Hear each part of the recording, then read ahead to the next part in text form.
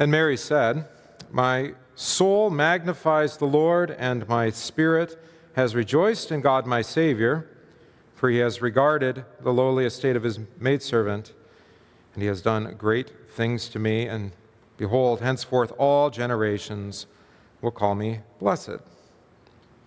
In the name of the Father, and of the Son, and of the Holy Spirit. Amen.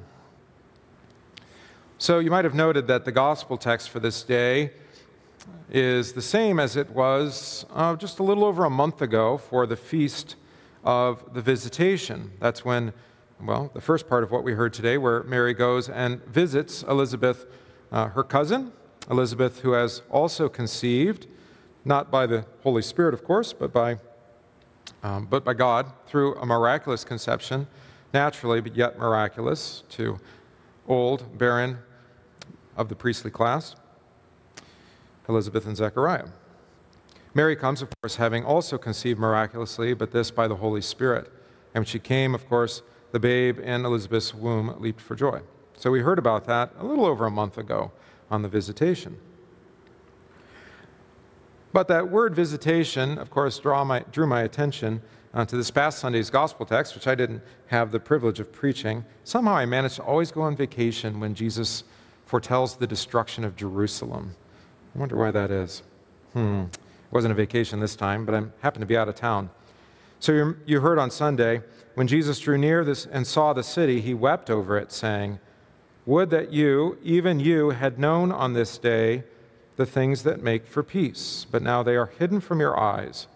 For the days will come upon you when your enemies will set up a barricade around you and surround you and hem you in on every side and tear you down to the ground, you and your children within you and they will not leave one stone upon you because you did not know the time of your visitation. So Jesus speaks of Jerusalem, not metaphorically, actually, quite literally. All those false teachers, the Pharisees, the scribes, the Sadducees, those who were had, this, had the letter of the law but not the Spirit of God, who did not give the people peace and the forgiveness of sins, and proclaim peace through obedience to the law, which is not what God ever promised. And so they did not know the time of their visitation, and just, well, about four decades later, Rome would level Jerusalem, not one stone upon another. All because they did not repent and believe the gospel. They had put their trust and their hope in, well, their law, including the law of God, in their city and their birthright, and not in God's giving. And so when Jesus came and visited them and called them, like John the Baptist before him, to repentance, they refused and instead conspired to have him executed by crucifixion. Of course, this was according to the foreknowledge and will of God that Jesus would be killed at the hands of sinful men to redeem sinful men, to deliver the forgiveness of sins to you and to me. And thanks be to God that Jesus comes and continues to visit us and to dwell with us, and that we know the day of his visitation. That's when, well, he delivers his word and sacrament to us. And so you're here this evening for that very purpose. And in that way, Mary actually is a model example of the church. You've probably heard her um, considered like the icon of the church or the example. Sometimes you'll see this in art. Even on the day of Pentecost, uh, the artists take liberty and they have the, the 12 apostles, well, 11, I should say. Uh, but there is a 12th there, and at the center they put Mary, because, of course, she is the mother of the church, they say, which uh, is not really what the scriptures teach.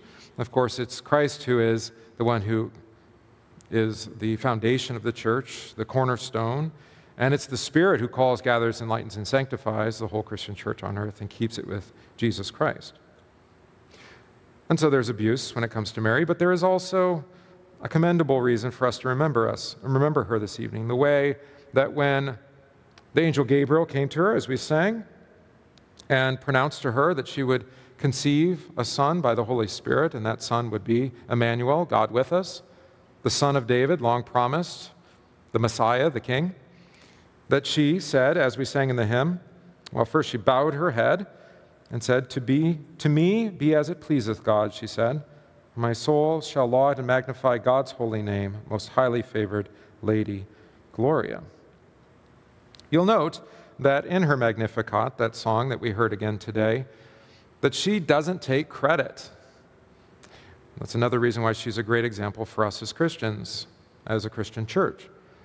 Is at the conclusion of whatever great works God accomplishes for us, whether it, it be gathering a Christian church in this place, uh, maintaining and sustaining a Christian day school, supporting missions both here and abroad, and completing acts of mercy and compassion for our neighbors, that at the end of whatever God chooses to accomplish in us by His word, that we too, like Mary would say, be it as you have said. Right? And even then, uh, maybe in the way of the famous composer, Johann Sebastian Bach, say, Glory to God and Him alone. Right? Or thanks be to God.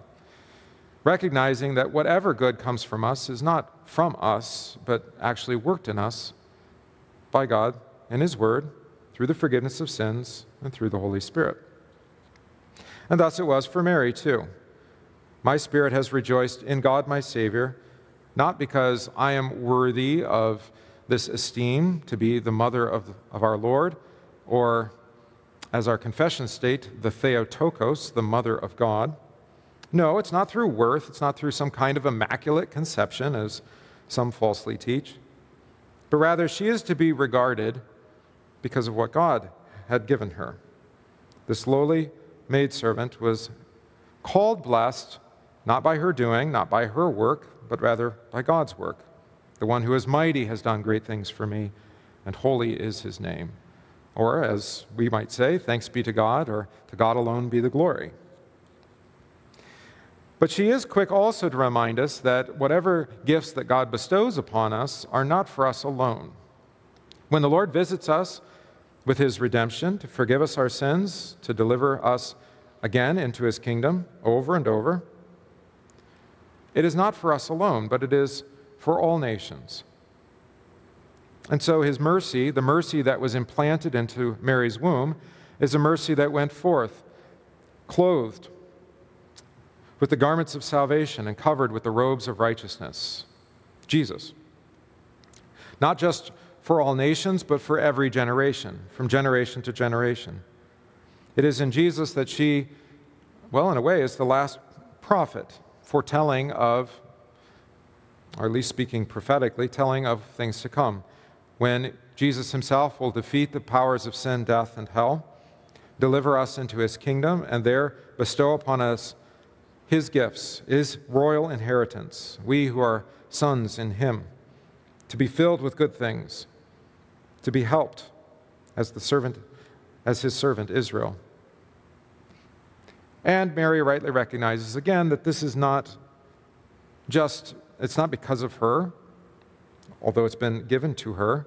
She has a special vocation, uniquely given. And it is thus it's for all nations. And not only that, is from generation to generation. So Jesus comes to redeem the prophets of old who looked forward to him, and also all those who have yet to come, even yet to be born in our time and times to come. But he did this not because we asked, but because he promised.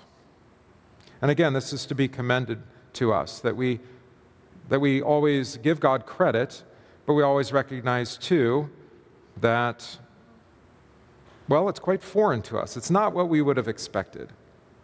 The natural religion of our heart is that, well, we would have to earn God's favor, that we would have to uh, worship Him. Or even if we don't have to earn His favor, He gives us His favor, then we have to work to keep it.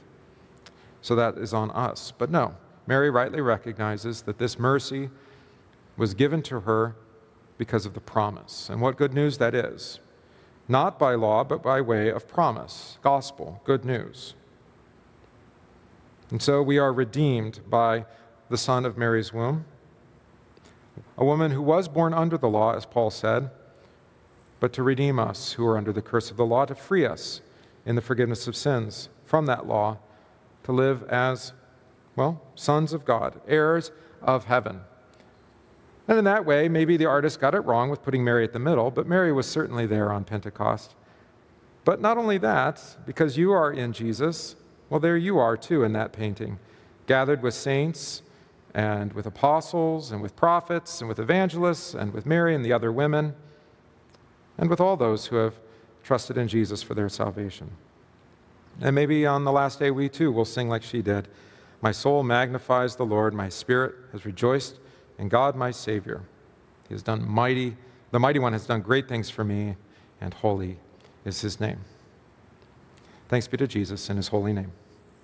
Amen.